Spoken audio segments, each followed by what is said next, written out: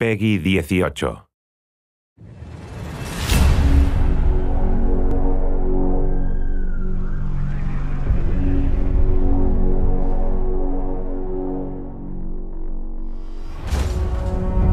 En fait, Hero Hunt a été une des expériences les plus mythiques de Rainbow Six. C'était euh, une des expériences qui permettait de, de fournir énormément de challenges à un joueur seul ou en groupe, en fait, affrontant euh, de l'intelligence artificielle.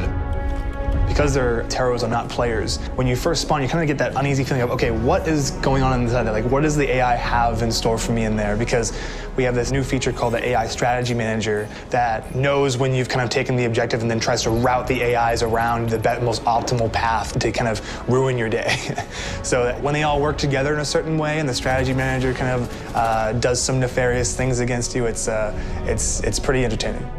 So all of the AI in the map, they're constantly trying to figure out what's the most intelligent thing they need to be doing at that point. They'll be defending, they'll be reinforcing walls and putting barbed wires and everything that they have to do to protect the area.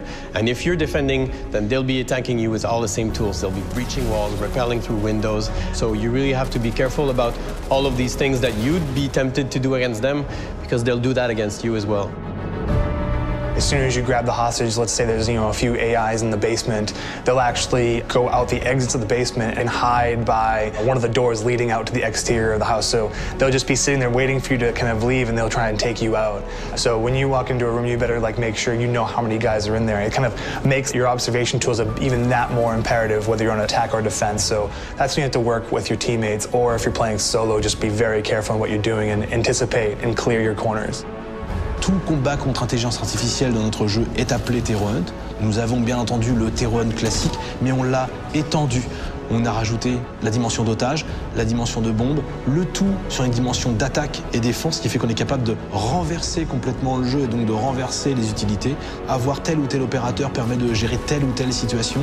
Et après, on a aussi beaucoup plus d'ennemis à gérer. Il va falloir s'y prendre différemment.